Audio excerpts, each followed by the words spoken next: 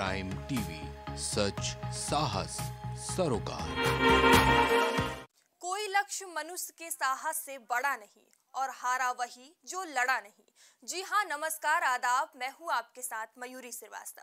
ये लाइन गोला गोकर्णनाथ में हुए उपचुनाव पर बिल्कुल सटीक बैठती है, क्योंकि एक तरफ़ जहाँ भाजपा सत्ता में होकर भी पूरे दम के साथ चुनाव में लड़ी तो वहीं दूसरी तरफ़ समाजवादी पार्टी के दिग्गजों ने खुद को चुनाव से दूर कर लिया था। नतीजा आपके सामने है। बीजेपी के प्रत्याशी अमन गिरी ने सपा प्रत्याशी विनय तिवारी को भारी अंतर से चुनावी दंगल में परास्त कर दिया।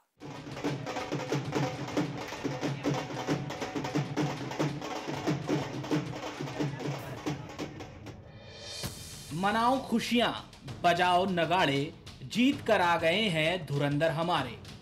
गोला गोकरनाथ की जनता, बीजेपी प्रत्याशी अमन गिरी की जीत से काफ़ी खुश दिखाई दे रही है।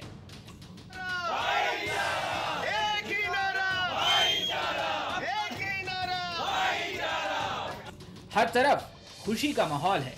सुबह से ही बीजेपी कार्यकर्ताओं और अमन गिरी के समर्थकों में काफ़ी उत्साह दिखाई दे रहा था। मानो वो पहले से ही आश्वस्त थे कि उन्हें कोई हरा नहीं सकता।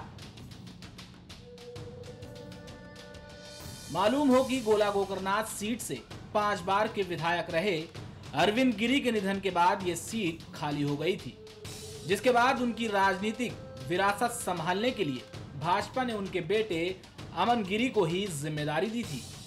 जब ज़िम्मेदारी दी गई तो उनके बेटे ने दोनों हाथों से ज़िम्मेदारी को लिया। और चुनाव जीतने में कोई कसर नहीं छोड़ी।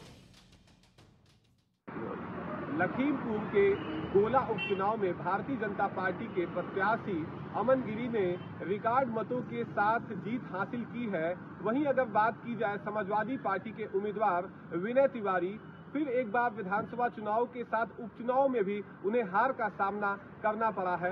वहीं अगर देखें तो समाजवादी पार्टी इस उपचुनाव में महज आरोप और प्रत्यारोप खेलती रही, मगर भारतीय जनता पार्टी के कार्यकर्ता और पदाधिकारी चुनाव को जीतने के लिए पूरा अपना दमखम लगाए नज़र आए, जिसका नतीजा है कि आज भारतीय जनता पार्टी के प्रत्याशी अमन गिरी अपने पिता के रिकॉर्ड मतों से जीतने के रिकॉर्ड को तोड़कर लगभग चौंतीस हज़ार वोटों से समाजवादी पार्टी के उम्मीदवार विनय तिवारी को कड़ी शिकस्त दिए हैं। गोला के रण में भाजपा के अमन गिरी ने सपा प्रत्याशी विनय तिवारी को बड़े अंतर से इस उपचुनाव में चारों खाने चित कर दिया है।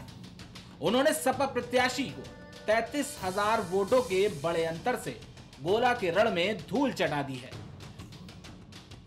ये हमारी जीत नहीं है, पिताजी की जीत है, उन्हीं का इलेक्शन था, उन्हीं का इलेक्शन है। और हमेशा से ही उन्होंने जब भी इलेक्शन लड़ा है हमेशा चुनाव में, वोटों में उनकी बढ़ोतरी हुई है। और इस बार भी उन्होंने खुद का युवाओं को नई नई करियर ऑप्शन भी खुले हमारे कॉरिडोर के बने बने, पूरा हो। साथ ही साथ में हमारे जो गोला के स्टेडियम है, उसका निर्माण से गोला के जो हमारे युवा हैं, उनको काफ़ी ज़्यादा हमेशा उत्साह होता है। उनके लिए नए ऑप्शन हमारे किसी भी क्षेत्र में बहुत साथ ये माननीय अरविंद गिरी स्वर्गीय अरविंद गिरी की सच्ची सच्ची सच्ची श्रद्धांजलि है और गोला जनता की ये जीत है। नहीं, भैया ने जो काम किए थे और भाईचारा किया था, एक ही नारा, भाईचारा, उसी पर ये चुनाव लड़ा गया है। और सभी मतदाताओं को हम आदरिक धन्यवाद देते हैं।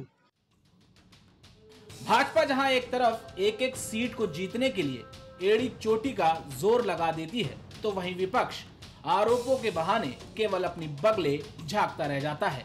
जी हाँ, चुनाव से पहले जहाँ घर बैठे सपा प्रमुख अखिलेश यादव ने भाजपा पर यह आरोप लगाया था कि वो यादव पुलिस कर्मियों को वहाँ से छुट्टी पर भेज रहे हैं।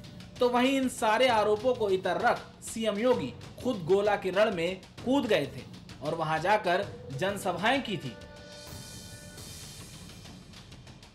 उन्होंने वहीं से अखिलेश के आरोपों का जवाब देते हुए कहा था कि सपा ने पहले से ही हार मान ली है और नतीजा भी कुछ ऐसी ही तस्वीर बयां कर रहा है। खैर, इस हार से भी अगर समाजवादी पार्टी ने सबक नहीं लिया तो हाल ही में होने वाले मैनपुरी रामपुर की विरासत सीटों को भी गंवाना पड़ जाएगा। Output desk Prime TV. खास रिपोर्ट में इतना ही। देश दुनिया की तमाम खबरों के लिए देखते रहिए प्राइम टीवी। कुछ भाव पुष्प। आप देख रहे हैं प्राइम टीवी। सच साहस सरोकार। हॉलीवुड से लेकर बॉलीवुड तक, एक्टर से लेकर सिंगर तक। फ़िल्म जगत की हर चटपटी खबरों से आपको कराएँगे रूबरू।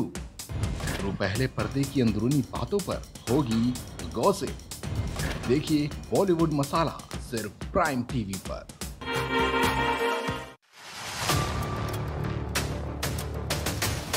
पहुँचेंगे हम वहाँ, जहाँ हर खबर दबाई जाती है।